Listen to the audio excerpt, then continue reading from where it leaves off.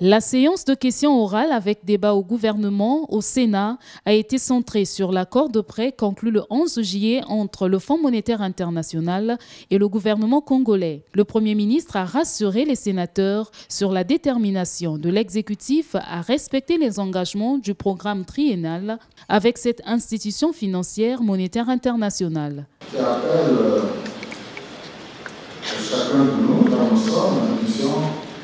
Agir pour réussir ce programme, est notre programme.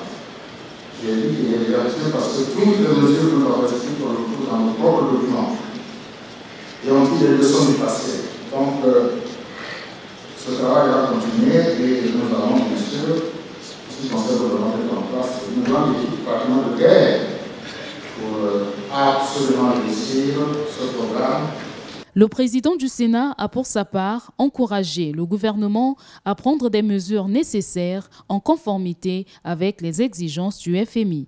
Tout n'est pas déjà réglé à partir de l'accord. Voilà pourquoi il n'y a pas de raison de verser dans l'euphorie. Mais tout est encore à faire. Et on a dit le plus dur commence. C'est le moment de la responsabilité. Responsabilité à tous les niveaux.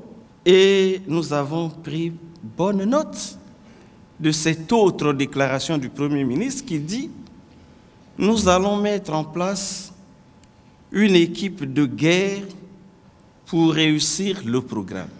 À cette séance de questions orales, les sénateurs ont aussi soulevé les préoccupations liées entre autres sur le statut juridique de la Société de transport public urbain STPU, la rareté de devises dans les établissements financiers et les textes de création de la haute autorité de lutte contre la corruption. Clément Mwamba a promis que cet organe sera bientôt mis sur pied.